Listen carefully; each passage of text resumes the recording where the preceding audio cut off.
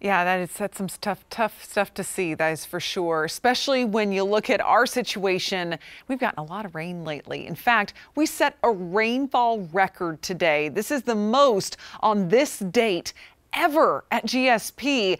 Over three and a half inches fell this afternoon. The old record was 1.72, so we blew it out of the water. And, you know, I had a lot of folks comment on Facebook that you were not surprised uh, that we broke this record because there was just so much standing water around. Uh, the rain was so torrential to drive through today. And we could go through that again tomorrow as these storms are going to pack a lot of moisture. Right now, though, luckily just seeing a little bit of light rain from southern Spartanburg County down toward Abbeville, Anderson, northeast Georgia, seeing some scattered light rain. Uh, and you can see it's kind of shriveling up. We're going to see a lot of this diminish after midnight so that the morning should be mostly dry. But we do have a frontal boundary kind of hanging out across the area that could help to spark off more rain. Even tomorrow morning could have a couple spots. I'll show you that on Futurecast.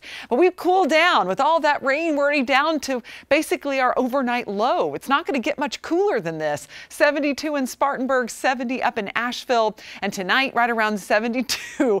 That's pretty much the temperature it is in most spots. Uh, again, it's going to hold steady with a few light showers overnight. 60s for you in western North Carolina. Tomorrow, it gets hot again, but we're not expecting it to be into the low to mid 90s, just right around 90 in the upstate and 86 for the mountains with those storms bubbling up in the afternoon. Here's what it will feel like. Because it is so oppressively humid south of I-85, it will feel like close to 100. Along the 85 corridor, a mid-90s feel in some spots, and a little bit better in the mountains. That's where the rain will begin a little earlier, help to cool things down.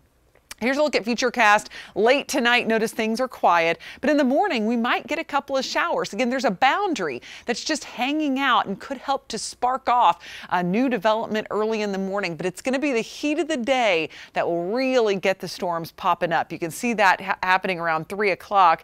A few in the mountains, few down toward the southern upstate, but not quite the coverage of what we had today, uh, even though I do think we'll have some heavy downpours. You can see some of that at 7 p.m. Tuesday evening. So if you've got plans to grill out tomorrow night, just be aware there will be some pockets of heavy rain. Then all that's going to fall apart, and eventually we're going to notice a drier pattern. Notice Wednesday, it's really looking a lot less active. In fact, hardly even finding anything popping up there.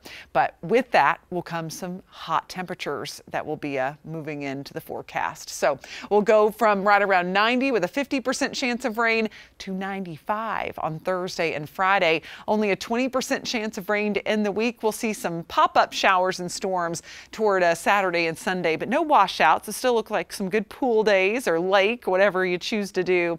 In the mountains, good chance chance of afternoon storms tomorrow, and then it gets drier and hotter. Even in the mountains, I'm expecting 90 degrees Thursday and Friday. Of course, you'll want to check in first thing tomorrow morning on the morning news. Meteorologist Nicole Pape, she will get you all set up with the latest Futurecast model so you can time out that rain even better as you get your day started.